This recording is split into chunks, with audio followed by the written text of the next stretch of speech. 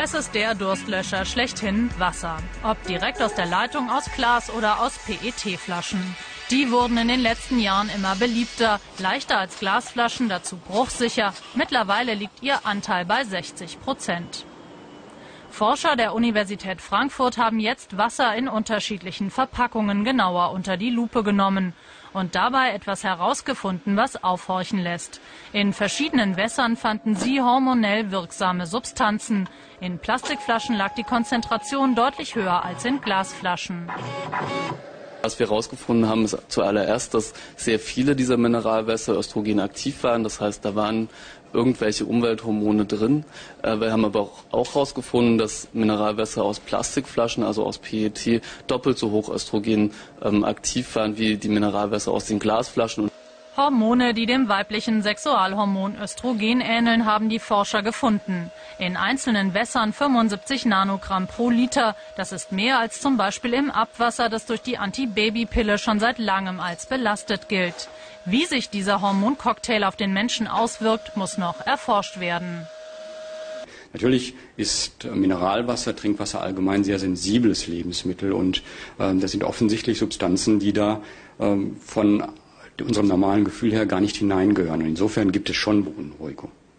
Liegt es am Wasser oder liegt es an der Verpackung? Auch dieser Frage sind die Forscher nachgegangen mit tierischen Helfern, neuseeländischen Zwergdeckelschnecken.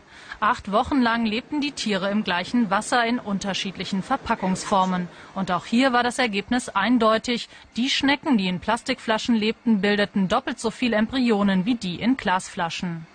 Die Verbraucherschutzinstitutionen werden sich des Themas annehmen und sicherlich muss man auch noch mehr Wissenschaft und mehr Forschung in diesem Feld äh, dieser Umwelthormone machen, um herauszufinden, mit welchen Chemikalien kommen wir überhaupt in Kontakt und geht von denen wirklich ein Risiko aus. Interessenverbände verneinen dieses Risiko. Sie verweisen auf die gesetzlichen Grenzwerte und darauf, dass die Frankfurter Ergebnisse deutlich darunter lägen. Ich kann verstehen, dass Verbraucher sich hier haben verunsichern lassen. Aber es besteht sicher kein Grund zur Beunruhigung. Wie gesagt, die nachgewiesenen Spitzenwerte liegen um eine Million niedriger als der gesetzliche Grenzwert. Ein Risiko für die Gesundheit ist da wohl auszuschließen.